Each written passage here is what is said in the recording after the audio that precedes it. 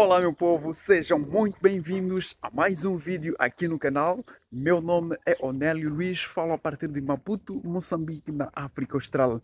Neste exato momento estou a regressar da igreja, igreja católica. Vocês sabem muito bem que eu rezo na igreja católica e acho muito importante sempre estar em contato com o Senhor. E nada melhor que todos os domingos participar das missas ouvir a palavra do Senhor e não só ouvir, mas também uh, levar esses ensinamentos e transmitir àqueles que não puderam, uh, portanto, participar das missas e fazer valer o que a gente aprende na igreja, não é mesmo?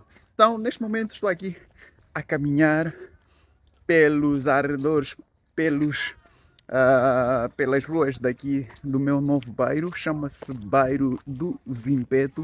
Olhem só as casas. Chiques, um bairro chique.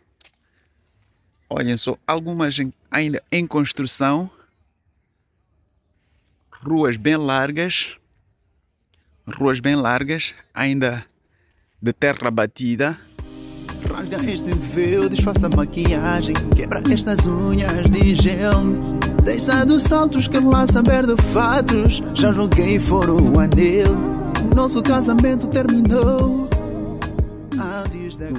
Em relação ao que a gente aprendeu hoje na missa Aquilo que foi a palavra uh, transmitida hoje pelo padre uh, Falava-se a importância de sermos tolerantes, perdoarmos uns aos outros, porque muitas vezes a gente guarda mágoa de pessoas que nos tenham uh, afetado, tenham nos ofendido de certa forma.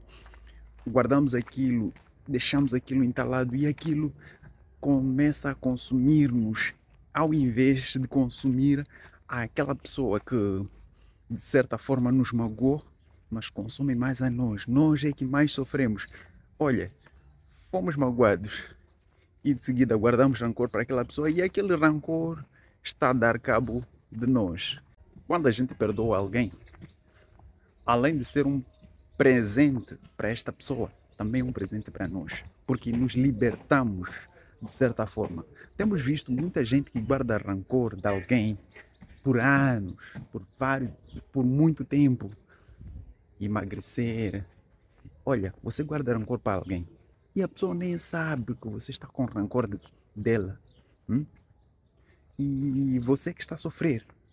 Sim, você que está a sofrer porque você que não dorme, você que não apanha, é, você que emagrece, você que fica yeah, sempre pensativo. Porque guardaste rancor e a pessoa está numa boa, nem sabe que você está com rancor, está com algum problema. Então, às vezes a gente tem que se perdoar. É, temos que nos perdoar. Perdoar-nos é uma forma de nos libertarmos de carga, sabe? Aquele momento em que guardamos, guardamos mágoas, guardamos rancor de alguém e eu pelo menos me sinto pesado. Eu não consigo guardar rancor de alguém. Me liberto logo, me livro logo daquilo, porque sei que eu é que estou a sofrer. É, eu é que estou a sofrer, mas vemos, é pessoas ficam longo tempo, não falam com a fulana, não fala com o cicrano, não fala com o vizinho, porque pá, lhe fez isto, lhe fez aquilo, não quer perdoar.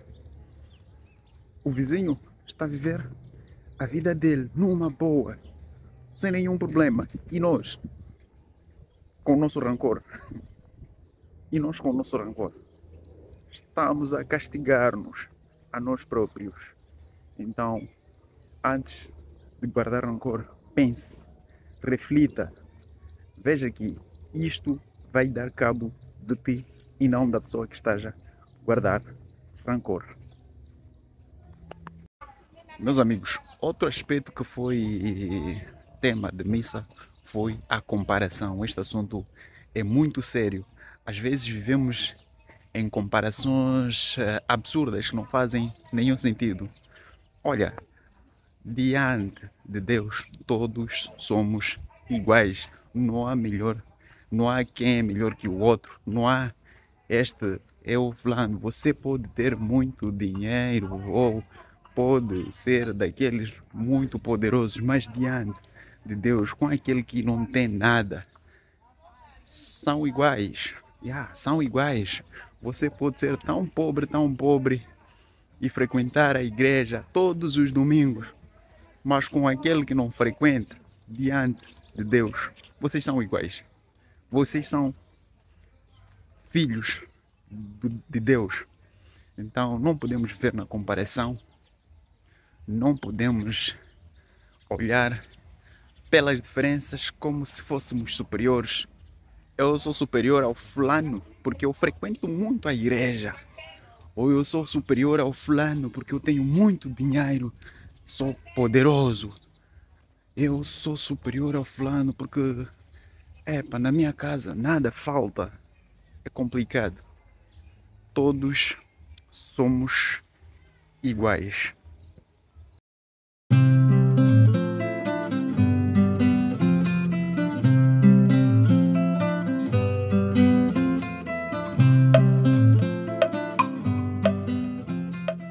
Nosso vídeo termina por aqui. Agradeço imenso pelo carinho da vossa audiência. A gente se vê no próximo.